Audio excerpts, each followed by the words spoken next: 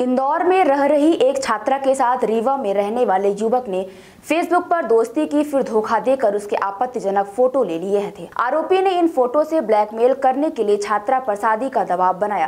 शादी के बाद छात्रा को बदनाम करने के लिए फ़ोटो वायरल भी कर दिए। मामले में पुलिस ने आरोपी के खिलाफ केस दर्ज किया है। आरोपी की गिरफ्तारी के लिए एक टीम भी रीवा भेजी गई है। मामला राजेंद्र नगर निवासी 25 साल की छात्रा का है। पीड़ित ने पुलिस को बताया कि वह रीवा से पढ़ाई के लिए इंदौर आई थी। यहाँ फेसबुक पर उसकी दोस्ती अंशुमान सिंह सेंगर से हुई। दोस्ती के बाद चैटिंग होने लगी। अंशुमन ने कुछ दिनों बाद उसे मिलने बुलाया और नशा देकर आपत्तिजनक फ़ोटो ले लिए थे। ये फ़ोटो वायरल करने की धमकी देते हुए आरोपी ने छात्रा को छिदवाड़ा बुलाकर शादी भी की। शादी के फ़ोटो उसने कॉलोनी के लोगों के नंबर पर वायरल कर दिए। छात्रा की शिकायत पर राजेंद्र नगर पुलिस ने अंशुमान के खिलाफ तीन सौ चौवन का, तीन घा चार सौ इक्यावन, तीन सौ अट्ठाईस भादवी छाछठ ई आईटी एक्ट के तहत केस दर्ज किया गया है। उसके महिला अफेयर ने बयान ली, जिसमें उसने चौंकाने वाली बातों का खुलासा किया है। आरोपी ने यूट्यूब पर भी इसके वीडियो अपलोड कर दिया है।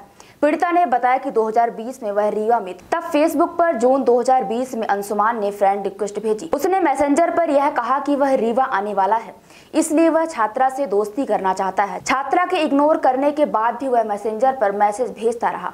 तब छात्रा ने उसकी रिक्वेस्ट को एक्सेप्ट कर लिया। दोनों के बीच मैसेंजर पर लगातार बातें होती रही। इस बीच छात्रा ने अंशुमान को बताया कि वह इंदौर में वकालत की पढ़ाई करने जा रही है। तब अंशुमान ने कहा कि वह भी इंदौर में ही रह रहा है।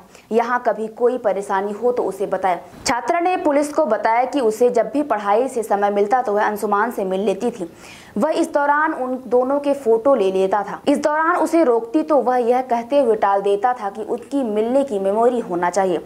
पीड़िता ने बताया कि राजेंद्र नगर के एक अपार्टमेंट में वह किराए से रहती थी।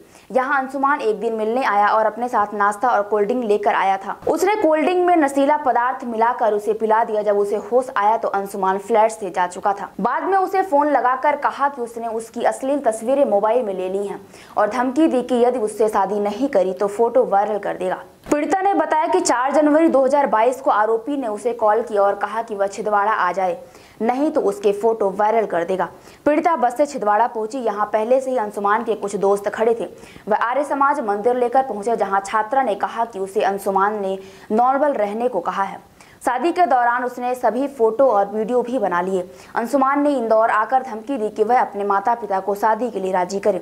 इसके बाद पीड़िता डिप्रेशन में रहने लगी। छात्रा ने यह बात अपने परिजनों को बताई। छात्रा के परिजनों ने अंशुमान और उसके परिजनों से बात करके फ़ोटो, वीडियो डिलीट करने को कहा।